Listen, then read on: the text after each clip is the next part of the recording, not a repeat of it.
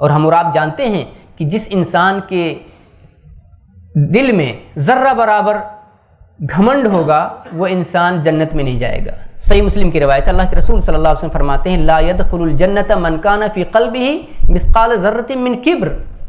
क़ाला रजुलुन, या रसूल अल्लाह युहिब्बु अन यकून सौबुहु हसनन व नअलुहु हसनतन। क़ाला, इन्नल्लाह जमीलुन युहिब्बुल जमाल। अल किब्रु बतरुल व गमतुन नास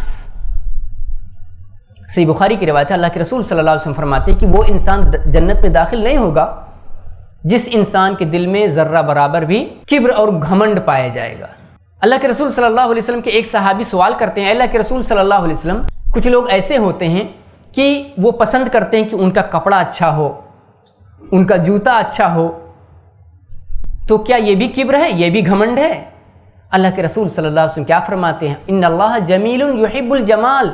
अल्लाह जमील है, अल्लाह खूबसूरत है और खूबसूरती और जमाल को पसंद करता है।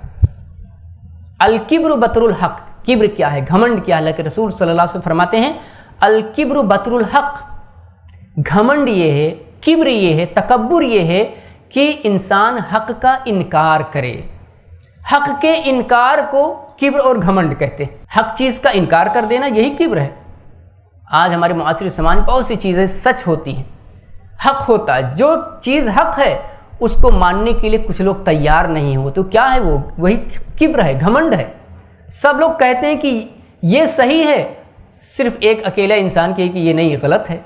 ना उसके पास कोई दलील हो, ना कोई हुज्जत हो, कुछ भी नहीं। बस अपनी किब्र और घमंड और गुरूर की बुनियाद पर उस हक को ना माने।